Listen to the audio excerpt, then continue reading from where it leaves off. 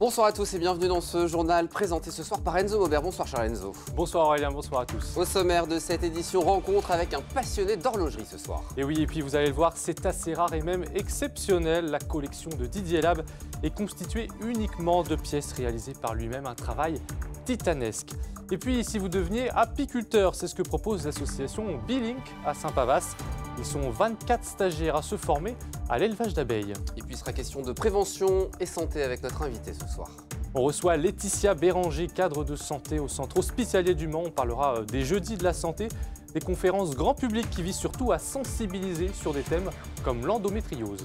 Passer son temps à fabriquer des horloges, c'est la passion de Didier Lab que vous avez rencontré que Florian Wozniak a rencontré, l'un de nos journalistes, ancien restaurateur.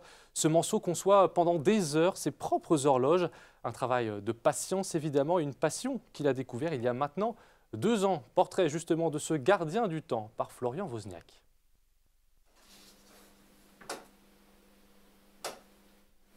Au fur et à mesure que le temps passe, Didier, lui, s'active dans son atelier il vient de recevoir les plans de construction de sa neuvième pendule. Je les achète à un concepteur, un designer qui est à Hawaï, qui s'appelle Clayton Boyer. Je colle les plans sur le bois dont j'ai besoin et je découpe selon le tracé des, euh, choses comme ça. Voilà. Je reçois ça et puis je colle le plan sur le bout de bois. Puis après, ben, à moi de le couper. Un travail de longue haleine qui lui demande une grande précision. Si jamais euh, un engrenage, il y a une dent qui ne va pas, il euh, faut changer tout l'engrenage. Et quand il y a des engrenages qui comportent 100 dents, t'en fais 95, elles sont nickel, et la 96e, un petit coup de trop, et tu, tu, faut que tu refasses la, roue complète. Ce genre de, de, de, travail, ça supporte pas à peu près. Ancien restaurateur, Didier n'avait pas prédit de faire de l'horlogerie sa future passion je m'étonne moi-même de moi qui suis taxé de nerveux, de speed, de ce que tu voudras. Et eh ben bizarrement, je suis, je peux refaire une pièce dix fois. Mon entourage euh, est, vraiment étonné justement de la patience que je peux avoir, que je me suis découvert. C'est en descendant quelques marches que l'on peut admirer le travail de Didier. L'ensemble des horloges confectionnées orne le mur de sa salle à manger. C'est 250 heures, 300 heures, une pendule comme celle-ci. Et après, ça peut être euh, des semaines de réglage. La fabrication, c'est une chose, mais après, pour la rendre fiable, pour la faire tourner, pour qu'elle fonctionne correctement, c'est tout autre chose. Et lorsqu'on lui demande s'il serait prêt à vendre ses pendules, la réponse est claire. À supposer que j'en vende une à quelqu'un, il aurait beaucoup de mal à en profiter. Quoi. Tous les jours, je suis à bricoler dessus. Si c'est pas quelqu'un qui les a construits ou si c'est pas quelqu'un qui est hyper motivé, la pendule, ne tournera jamais chez lui. Pour étoffer sa collection, Didier ne s'interdit rien. Il rêve même de voir plus grand. Un mot à présent, Enzo, de l'école des beaux-arts du Mans qui est toujours occupée. Et oui, alors que se prépare une nouvelle journée de grève ce jeudi contre la réforme des retraites, les étudiants de l'école ont décidé de prolonger leur occupation des locaux d'une semaine. Elle dure depuis euh, le 22 mars. Ils s'opposent eux aussi à la réforme des retraites, mais ils dénoncent plus largement la détérioration de leurs conditions d'études, une mobilisation euh, qui a lieu partout en France alors que les écoles d'art ont de plus en plus de mal à vivre. Un cycle de conférences pour parler prévention et santé. On va l'évoquer ce soir avec notre invitée en plateau, Laetitia Béranger, cadre de santé au sein du centre hospitalier du Mans. Soyez la bienvenue sur notre plateau. Bonsoir Laetitia Béranger. Bonsoir. Merci d'être avec nous. Vous organisez le CHM, le centre hospitalier, en partenariat avec la ville du Mans, euh, les jeudis de la santé, plusieurs euh, rendez-vous grand public gratuits pour aborder euh, plein de thèmes autour de la santé. La première conférence, c'est ce jeudi à 19h30. On y parle endométriose. C'est quoi l'objectif global de ces jeudis de la santé finalement? L'objectif pour nous, c'est de présenter, de, réaliser des conférences débats sur des thématiques en santé. Et ce sont des thématiques que nous avons choisies en lien avec le projet de santé publique. Et l'idée, c'est d'apporter des éléments de connaissance aux usagers pour les acculturer à la prévention parce que c'est un axe essentiel pour leur permettre d'être mieux dans leur santé, en tout cas de promouvoir leur santé.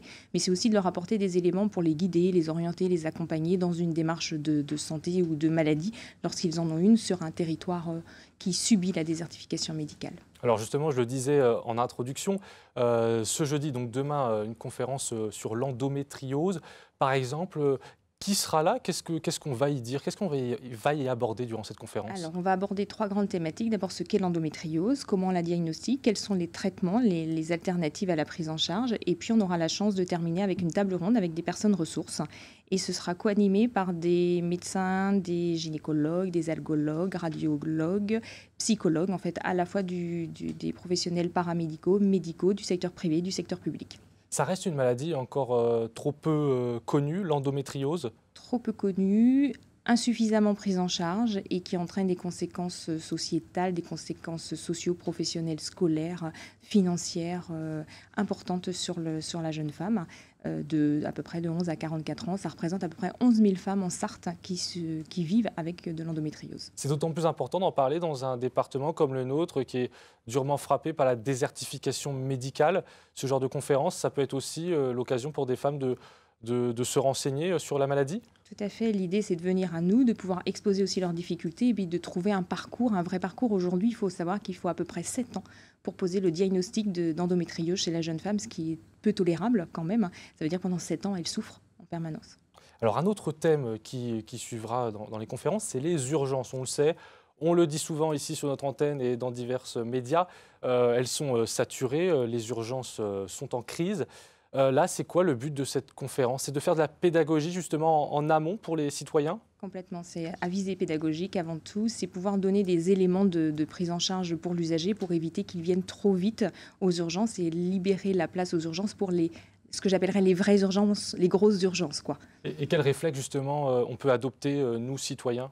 Eh ben, ça va être par exemple utiliser la téléconsultation. Ça peut être des petits moyens en disant bah, plutôt que d'arriver aux urgences, je vais d'abord appeler le 116 117 ou alors je vais appeler le 15 en fonction des symptômes que je peux avoir. C'est contrôler ma température, commencer par prendre du paracétamol. C'est tous ces petits éléments qu'on va pouvoir aborder avec les praticiens médicaux et paramédicaux. Alors, c'est jeudi de la santé, euh, c'est une première. Après, vous, vous souhaitez aller euh, plus loin avec euh, des ambassadeurs, il me semble. Oui, tout à fait. Alors, l'idée pour nous, c'est de pouvoir. On sait bien qu'on ne va pas pouvoir toucher l'ensemble des usagers au niveau du carré Plantagenet. Et puis, la Sarthe, elle est quand même grande malgré tout. Et la ville du Mans a mis en place des, des ambassadeurs santé. Donc, l'idée, c'est de pouvoir diffuser toutes ces informations-là au maximum d'usagers sur la Sarthe et d'utiliser les ambassadeurs pour diffuser l'information, mais aussi nous faire remonter les thématiques que les usagers auraient besoin que nous travaillions et échangeons avec eux. Alors on rappelle euh, la date et l'horaire de cette première conférence ce jeudi 13 avril, c'est à 19h30 au musée Jean-Claude Boulard. C'est bien évidemment euh, gratuit comme toutes les autres conférences qui suivront. Merci Laetitia Béranger euh, d'être venue sur notre plateau. Merci de m'avoir invité. Enzo, on va parler à présent de cette exposition itinérante 100 ans de 24 heures qui actuellement parcourt le département.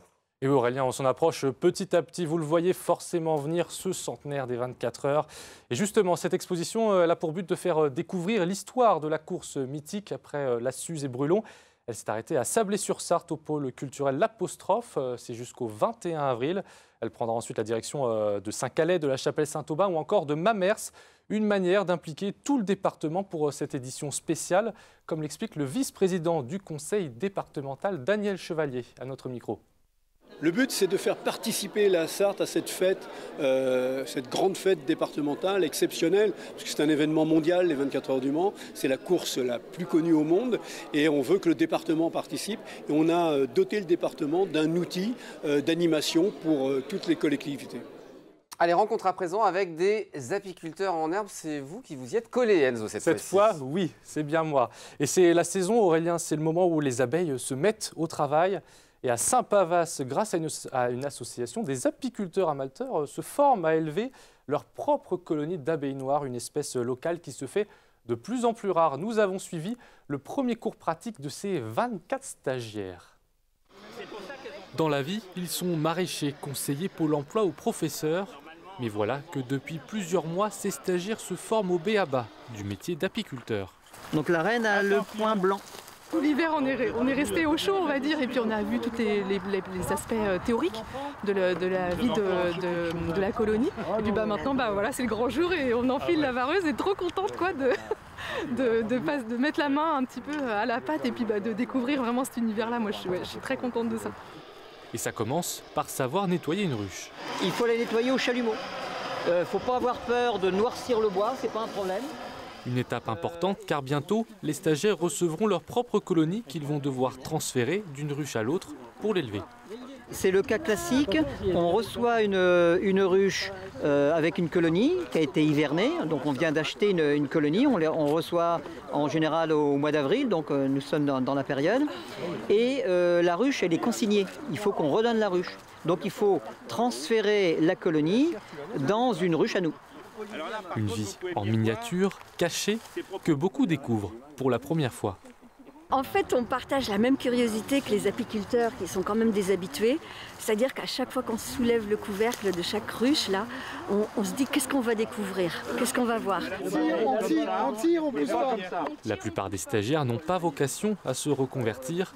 L'objectif est surtout de les sensibiliser à la biodiversité. Notre idée, c'est euh, essayer de faire passer le message que euh, moins de traitements chimiques, moins de- moins d'interventions possibles, euh, et donc multiplier le nombre de colonies en ayant chacun au moins une ou deux colonies. Nos stagiaires donc, permettent d'essaimer, c'est le cas de le dire, d'essaimer dans la Sarthe euh, toutes nos colonies d'abeilles noires. Et ce qu'on veut, c'est réintroduire cette abeille noire qui était l'abeille noire locale d'origine. Si vous voulez vous aussi devenir apiculteur amateur, un nouveau cycle de formation aura lieu à partir d'octobre 2023. Du sport pour finir avec une belle victoire en foot. Et oui, une victoire des Bleus avec euh, un E, puisque c'était l'équipe de France féminine, une victoire 2 à 1 contre le Canada lors de ce match amical en préparation de la Coupe du Monde. Et si on en parle ce soir, euh, c'est parce que la rencontre se déroulait au stade Marie-Marvin, un stade loin d'être complet, mais qu'il était beaucoup plus que d'habitude.